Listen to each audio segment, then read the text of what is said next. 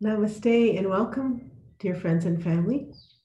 Welcome to our video where we explore the classical interpretation and classical origins of the chakras.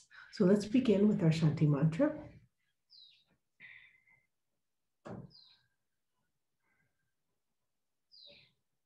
Take a few breaths and center yourselves here.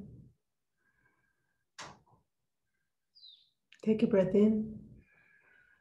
Om Sahana Vavatu Sahana Punaktu Sahaviryam Karavavahe Tejasvinavid Temastumavit Vishavahe Am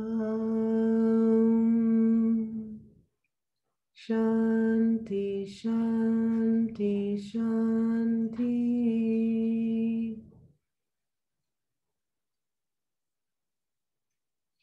As you exhale, release the pose.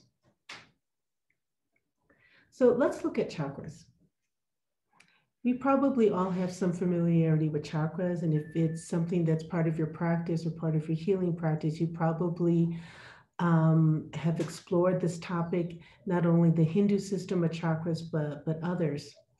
But today we're going to look at chakras from the classical yoga point of view. Now, when we start exploring chakras, what we find very interesting is that no matter what language you speak. If you are not reading the original Sanskrit, you know that your translation and even the transliteration is going to show some influence and bias of the language and the culture that is being translated into. So just take that into account as um, you explore the chakras. Chakras were first mentioned in the Rig Veda. The Rig Veda is one of four Vedas, or books, which is one of the oldest surviving, surviving written uh, books in the world in history. We also see um, around 700 or 800 BCE that in the Upanishads, we see mentions of chakras. Now, the Upanishads came after the Vedas. Some of the more known Upanishads that you will find mentions of chakras are listed here the Sri Jabala Darshana Upanishad, the Kundalini Upanishad, and the Yoga Shikha Upanishad, also the Shandilya Upanishad. Even here, you can see in my presentation that I am using a certain English translation of the Sanskrit script that is not uniform across other references. So as you do your own research, you you have to sort of um, keep digging deep. Okay. Um, later on in the 10th century, we see Guru Gorakhnath, which I think some of the yogis here probably are familiar with. He also mentions it in his Samhita. We also see the mention of chakras in Ayurveda. Now, Ayurveda is as old as the Vedas. And so it's a very ancient holistic medical system. When we do see mentions of chakras there, specifically the Atharva Veda. Now, many of the Western translations and understandings of the concept of chakras came during the Tantric period, which is more or less what we call the medieval period of, of India. Some of the um, Western translations that you probably have read or heard about uh, come from Sir John Woodroffe, he had the first English translation in this from the 16th century literature. He published in 1919, so this is the really early 1900s. Um, there weren't a lot of Sanskrit English scholars at that time, so he was taking his knowledge from not always perfect or 100% translations, let's say. Other authors at that time are C.W. Leadbeater, Alice Bailey, and Madame Blavatsky. Later on um, in the 1970s, you may have heard of Christopher Hill. He wrote The Nuclear Evolution, where he talked about chakras and colors. So, as we look at our study and research into what are chakras, I'd like you to remember the same practice to your capacity. So that means not only your physical capacity, but your intellectual and, and emotional capacity. So for some of us, we feel comfortable if um, reading English translations from other English authors. For some of us, we feel comfortable going back to the Sanskrit and then trying to understand from that script and those concepts what chakras are. But everyone has a different starting point. So start where you are comfortable, and that will be authentic to you. And then just go from there. So we come to the important questions Are chakras actual physical entities? And do they have actual specific characteristics? Or are chakras a mental construct of our focus and concentration? So, this is really important. When we start looking at these questions, we also look at what kind of actual words and definitions are we using. I like to uh, go back to a lesson I learned many, many years ago. I was talking to a, an experienced yogi, and she says, I don't do yoga, I practice yoga. And after she spoke to me in, in those words and got me thinking, I started meeting other people who are practitioners of yoga. They don't do yoga, they practice yoga. And so, for your own self, think about that. What does that mean to do or to practice? What does that imply about yoga? when you do it or you practice it, right? And you can have that same nuanced feeling in observance when we think about chakras. Now, chakras are a system that represent both subtle and gross energies. So that means they have subtle and gross qualities also that we can actually name. Some of the difference between physical gross and subtle is that in the physical gross uh, realm, we have actual measurable quantities and qualities. In the subtle realm, we cannot measure the, the quantity or the quality of the characteristics when it's on the subtle plane.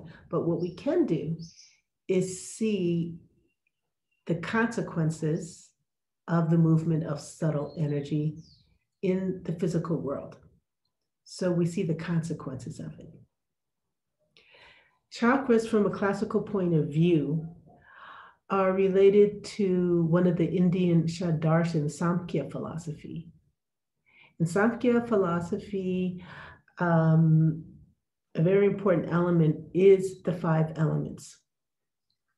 So the five elements in Samkhya philosophy, and you find it in Ayurveda, you find it in yoga, are earth, water, fire, air, and ether. And so these five elements are described in the philosophy from a subtle point of view and from um, a gross point of view. And so they will have characteristics and qualities. We can also look at the chakras from a point of view of spirituality. And spirituality cannot be measured per se, but we can see the manifestation of spirituality, which is in spiritual attainments or milestones in your life. According to Tantra, the main purpose of a chakra system is to function as a template for nyasa. Nyasa is the installation of mantras and deities in the chakra system. So when they say installation, that means a mental focus of a mantra in those chakra positions. Or if we're reciting Sanskrit alphabets or other mantras that have a resonance with that particular element, which is related to that particular chakra, that is installing or bringing that mental focus. So we are prescribing a type of observance to the chakra. That's what they mean by nyasa. And that is part of the tantric definition of chakra meditation. So, in the practice portion of our workshop, you will notice that you are practicing nyasa when you recite and write the bija letter that goes with each chakra, right? You're installing that particular resonance through the alphabet that corresponds with a certain chakra. The same thing when we are reciting and writing the letters of the petals on the different chakras. And as you move along and come into the Purusha mantra, it's the same thing, but we're doing it on the body. We are reciting the Sanskrit alphabet and actually touching different parts of our body. So that is all nyasa.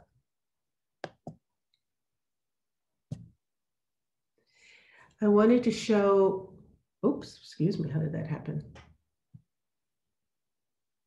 Let me get back to the this point.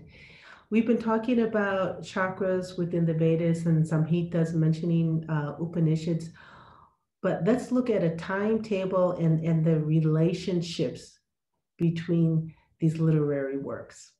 So there are four Vedas. They are known as the Rig Veda, Samaveda, Yajur Veda, and the Atharva Veda. And I, have written them, them here in the chart. Now, each of these Vedas is broken up into four categories. So each the, each Veda has these four parts to it. Now the Samhita are the mantras and the prayers that go with that particular Veda. The Aranyakas are a description of the rituals. The Brahmanas are commentaries on those rituals. So it's written by other people. The Upasanas then describe um, the worship and the devotion and the spiritual part that is related to that Veda. Afterwards, we have something called Vedanta. Vedanta is the culmination of all of this wisdom here. The Vedanta is made up of hundreds of Upanishads. So a lot of times when you're when you're um, exploring what are chakras, you'll come across oh this reference is to a sam, samhita, this reference is to an Upanishad. So now you know what the relationship is between them. So I think I'll end it there. And I will meet you on our next video. So let's share the pranava together, bringing our hands together.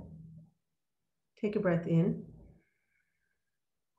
Um, shanti, shanti, shanti. Namaste. Thank you everyone for joining me and I'll see you in our next video. Thank you. Have a good day.